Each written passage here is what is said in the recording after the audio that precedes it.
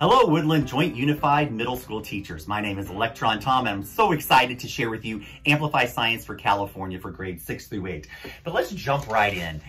Imagine your students getting to interact with some really cool experiments. So here I have some chemicals that I'm going to mix together. We have some phenol red, baking soda, and calcium chloride. And this is to develop the sense of sense making around modeling with this activity. Immediately, I see this really cool chemical reaction happening. I'm producing some carbon dioxide bubbles. I'm feeling the heat and the gas is expanding the bag. And what is the purpose of this investigation? It all ties to our amazing, unit structure and phenomenon. And so let me explore that a little bit further with you. With every unit, Amplify Science students get to take on these amazing roles as scientists and engineers, such as forensic meteorologists, chemists, planetary geologists looking at the surface of Mars and how those channels formed, or microbiome researchers looking at a fecal gut transplant. But this experiment I just performed for you comes from our metabolism unit, where students are learning about the processes of energy production in cells while they're diagnosing a patient who is chronically exhausted, and that's our anchoring phenomenon. My agenda in this quick video includes a program overview, a program components, talking about all these amazing resources you get to teach with as well as students get to learn from. And then along the way, embed Amplify Science's amazing and unique approach to learning. Now, as a teacher myself, I think it's very important to get some important criteria listed up front. Amplify Science has a fully bilingual print and digital program. So Spanish and English resources. So if I'm using my unit question, chapter question, and all these amazing things that come in our material kits, you can also get these in Espanol. Thinking of ease of use, hands-on setup with these materials takes about five minutes. We also include a slide deck for every lesson. It's a clickable lesson plan available in English and Spanish, and it is editable in both Google and PowerPoint versions. We have a video of a teacher teaching every lesson. Think that's so important. A real human teaching the lesson in a video. So many great uses for that. And then also a video of every hands-on investigation. These are another ways that we can provide access for our learners. Our phenomena-driven unit structure is built around NGSS, and we have a mix of inquiry with journaling and exploration called Do, Talk, Read, Write, Visualize. And we're going to go a little bit further into that. But why are people choosing Amplify Science? Well, we are a proven program with proven results, and I'll show you what I mean. Also, we take phenomena seriously. We are a true phenomena-based program where students get to explore this role of scientists or engineers.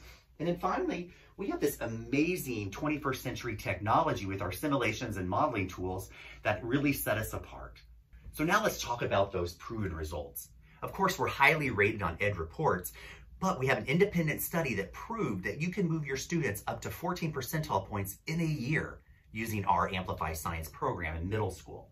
WestEd did an independent review study during the pandemic when we had the most challenging teaching and learning times, and they found that students scored 7.3% higher on end of study assessments compared to the control group of what they were using before.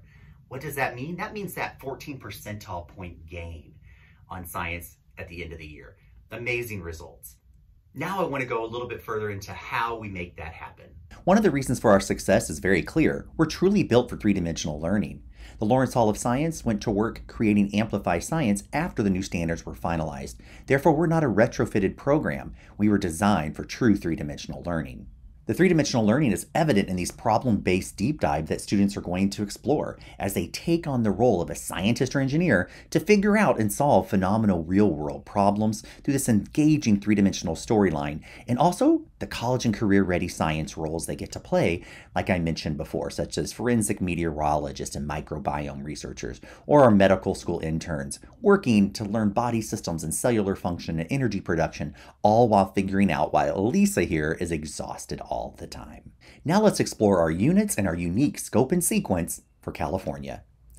Each grade level has 9 units for a total of 145 lessons. Each lesson is 45 minutes of instruction. We start the school year off by teaching a launch unit such as microbiome, geology and Mars, or harnessing human energy. So what is a launch unit? A launch unit is designed to introduce the norms, routines, and practices that we want students to accomplish as they embark on this new way of learning. We start by introducing interactive, meaningful reading of informational text. The text exists as science articles in both print and digital formats. Let's take a look at the digital format for some great interactive features. The digital text is organized in a way that works for our learners, with great visuals as well as a read aloud function. Cellular respiration. You may have heard the word respiration to refer to breathing air, taking oxygen into your lungs and releasing carbon dioxide through your mouth and nose. In our launch unit, students will learn interactive strategies and how to interact with the keywords, as well as make their own notes and annotations about the evidence they're finding from the text and submitting that to their teacher. We also have the ability for students to see all their work, their annotations, as well as change the settings. This can accommodate students with dyslexia or dysgraphia as they can expand the letter spacing and the text size. We also want to make that access for Espanol by clicking the toggle, and you will see here the audio. Respiración celular. En la vida diaria, usamos la palabra respiración para hablar de res So interacting with text is something that's very important in our program, and this is introduced in our launch units. Launch units also introduce our students to the amazing Amplify Science technology, such as our simulations. So let's take a look at some simulations. Here we are in our traits and reproduction simulation. All simulations have the Spanish toggle. I'm going to take Greg here and mate with Zora. The goal is to create a spider silk to replace a torn tendon in the human body. This is real research. Students will work through the visualization process. We can randomly fertilize. Students will be given guided inquiry tasks to complete in the simulation, but there's this open-endedness to the world that they get to explore. We have different traits at the top. Greg was low and Zora was high for silk flexibility. My offspring came out medium or low. That's great. If not, I can go back and do a different breeding, a different crossing. Let's go deeper into the cell. These pink shapes are the proteins responsible for that trait. If I change the trait, the protein shape changes drastically. Students can make that visual connection that each protein is responsible for the trait they see in the living organism. So this is the depth of understanding our simulations allow our students to get to. Now let's take a peek at our metabolism simulation. We also have that English and Spanish toggle, and we have different settings for students to explore. We're going to stick with the healthy body so we know exactly what a body needs to function properly. We can increase the activity levels, add food, which drops into the digestive system, and then it breaks down into the different macromolecules that can be traced throughout the different body systems. We can see the circulatory system moving around the different macromolecules. I see some oxygen and carbon dioxide exchange happening we essentially can zoom in on the mitochondria, those little powerhouses of the cell, and that energy production that is happening there. Students will work with the graph function and do time test, checking the diet, exercise activities of our patient as they work to diagnose her condition of why she's exhausted all the time. Now let's explore our core units and our amazing engineering internships. The bulk of the units are core units, such as metabolism, plate motion, and force and motion. Twice a year, students will embark on amazing engineering internships such as metabolism, plate motion, and force motion that follow the core unit of the same name. Let's take a deeper look into the force and motion engineering internship. In this internship, students are going to get a request for proposal, an RFP, from our Futura Engineering organization. Their goal as mechanical engineering interns is to design delivery pods containing essential supplies for an area that went through a natural disaster. Now, over the course of 10 days, students are going to embark on these amazing ways in which they can solve this problem. I'm a big fan of the egg drop. And so you'll see here in day two, students will design a physical egg drop. I named mine Humpty, and Humpty wasn't so successful. So day three, they redesign their egg drop. And the goal is to learn about how to protect that cargo, such as an egg, from falling. Then we introduce our digital supply tool. Here in our digital supply tool, students have to apply what they learn from their hands-on investigations with a real-world budget. We're going to go with some steel for our shell, use some airbags. We're going to try to keep the cost low as we balance the criteria that we have. We're going to go with flaps that are $250 and with the $100 flown blocks on the bottom. Students will record their, co their cost and the mass and then drop it from the helicopter. You can see here we have a lot of cargo damage and high impact forces. Students can redesign and edit, and they're going to do at least eight iterative tests, such as maybe spending $1,000 on a parachute. Will that make a difference? And it did. We now have less cargo damage, but is that the best choices they can make? Students will have real world conversations about how much money they can spend on how many pods they can actually deliver. Now that we explored the three different unit types, let's take a deeper look at the true phenomena based approach of Amplify Science. We're going to take the disciplinary core ideas of earth life and physical and engineering and bring in those eight science and engineering practices, those action items of what we want students to accomplish, and then develop their thinking around the cross cutting concepts as it all relates to an anchoring phenomenon such as a LISA or exhausted patient. We provide evidence of this for teachers through our teacher guides, both in print and digital format, where you'll see three dimensional statements that are color coded with the three dimensions. Also, down at a lesson level, these become more succinct, and many of our users create an I can statement for our students. When we think about our students, we want to make sure they all have access points for learning. So Amplify Science units are designed around progress builds. This is a progress build example from Metabolism. You're going to start the unit with a pre-unit assessment. If you give this assessment digitally, it will auto-score the multiple choice for you, and you'll also have two written responses with rubrics and possible student answers to score as well. You'll find that most of your students might score a progress build zero, but there's no need to panic. We're going to start simple. Progress build level 1 means that cells in the body need molecules from the outside. Students know they need to eat and they know they need to breathe. We're going to tap into that inherent knowledge and then we're going to build upon it. Progress build level 2 takes us into systems and how those systems work together to bring those molecules to our cells. At this point, you're going to pause and give a mid unit checkpoint called a critical juncture assessment. The results from the critical juncture assessment will group your students into three differentiated levels. Our green group is at level 1, our blue group is at level 2, and our purple group is at level 3 and has gone past where we expected them to be.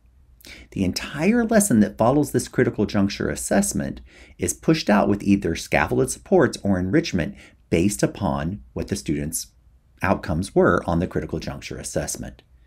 Once we're secure that all students are now able to move forward, we go into progress build level 3, where cells release energy to function.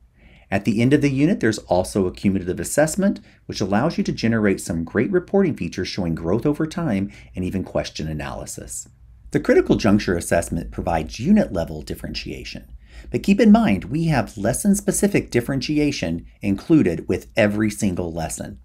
These include embedded supports for diverse learners, any potential challenges in the lesson, specific strategies for English learners, strategies for those students who need more support in general, and of course, strategies for students who need more challenge. Let's explore all the assessments within the program. We start with that pre-unit assessment, and then we have our critical juncture, which is that combination of multiple choice and written responses. Every chapter, we have a self-assessments for students to share how their learning is going. Included in the activities within a lesson, you will find on the fly formative quick checks. These are great because they provide you what to look for when the students are completing a three dimensional task and then how to make the modification with the now what if students are having any difficulties. At the end of the unit, we have a combination of summative assessments with multiple choice and written responses. We also include standard based benchmark assessments because we know that students preparing for the CAST exam is very important. We include three pre-made per grade level of the benchmark assessments. The depth of knowledge of these items are all level two or three. Let's review our successful learning approach. We hook students with that real world problem with our anchoring phenomenon. And then we're going to explore evidence from multiple sources as we develop complex explanations. That is done through the do, talk, read, write, visualize approach, which has proven very effective for multimodal learning. Do means students will be doing hands on investigations to gather firsthand evidence. Talking is very important in science, so we provide meaningful communication strategies through eight embedded discourse routines. Those discourse routines are in the lessons, but also embedded in the slide decks themselves. Students will read from the interactive text or the print version to gather even more evidence, and then write their findings and conclusions in our graphic organizers in our student investigation notebooks, or you have the option for them to complete their work digitally and submit it to the teacher. Visualization happens with digital tools, the simulations, multimedia, and so much more to bring this learning cycle home for all learners. Do Talk, Read, Write, Visualize has data to support that it addresses the needs of all the learners in your classroom. Once students are able to construct their inc- increasingly complex explanations, we then challenge them to solve a different problem at the end of our core units. This is called an application phenomenon. So let's take, for instance, our anchoring phenomena here. Students diagnose our patient, they figure out her medical condition, and learned all about how cells function and systems work together. We're going to extend their thinking and at the end of the unit, in the last chapter, students will have the application phenomenon introduced to them. In this case, they meet an athlete who went from 35th place in cycling to first in a year. How did he increase his cellular respiration to make that performance jump? Students will prepare for a science seminar. We provide strategies for teachers to step back and let students explore this more independently. The resources provided for students will allow them to do the research on his diet, high altitude training, and then they prepare for their oral arguments. The beautiful thing about the seminar, it allows students to express their understanding through this performance task. Now let's talk about the exceptional program components that you get to use to teach Amplify Science. Teacher materials include a print and digital teacher guide so you can plan the way that you like. The teacher guide also has all the lesson supports available for you in Spanish. I mentioned our classroom slides, and also we provide all the classroom wall materials in both languages on heavy cardstock. Student materials could be the student investigation notebooks that include the print articles, the digital experience, which also includes our videos, our hands on material kits, as well as our digital simulations. Our hands on material kits provide consistent hands on learning opportunities organized in unit specific tubs. Each unit would have its own tub full of materials. Designed for a class size of 40 students, up to five periods a day. Those students would work in groups of two or four with these materials. Our most powerful resource is our classroom slides, available in both PowerPoint and Google version. You can fully edit them, they're available in Spanish, and teachers love to customize both versions, but they are a true clickable lesson plan. Slides include videos, images of the text, as well as those built in on the fly assessments at point of use. Every lesson has an instructional video taught by a real science teacher. These are great for our special ed students and English language learners, as well as teachers using to model or assign to absent students, or even use for our substitute teachers. Hands on investigation videos provide authentic discovery as the students in the video will share the data they're collecting, but allow the, the viewers to conduct their own reasoning and make their own inferences. All of these components work together to allow a fundamental shift where students figure out, not just learn about, the science behind the phenomenon. Planning is as easy as one, two, three. One, review the lesson brief, either print or digital. Two, get your materials out of the kit. And three, access those classroom slides either as PowerPoint or Google. As I prepare for this lesson, I'll see the majority of our lessons start with a warm up.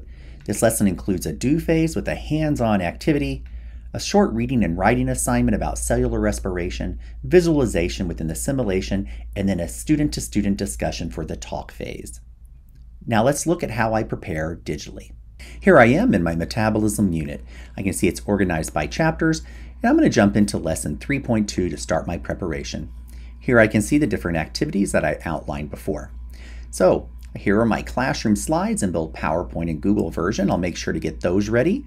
And then my materials and preparation will take me down to all the hands-on resources I need to get out of my, my unit tub. Then I definitely want to check out the differentiation brief. This allows me to support all the different learners within my classroom. And now I'm ready to teach. Students will complete their warm-up activity, they're going to jump right into that hands on investigation with that wow factor as they collect evidence from that mod- model of gas in a bag. Students will complete their work with their interactive text.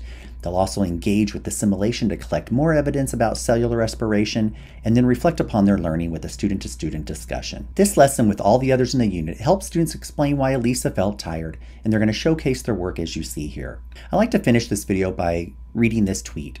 During open house tonight, one of my struggling sixth graders spent about 10 minutes in front of the metabolism simulator explaining how he's used the Amplify metabolism simulation and what each part of the metabolism means, and how to tell if the body is healthy or not.